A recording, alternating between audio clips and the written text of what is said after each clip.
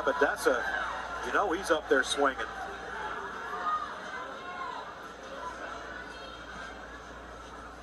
And he is, and he hits a little blooper over the shortstop's head. It'll score one around third play at the plate, safe.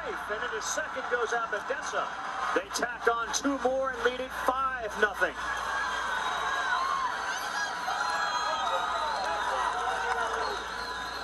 Now, we saw it in the regionals, and we're seeing it here. Two pitches for Jude Abbadessa, two base hits.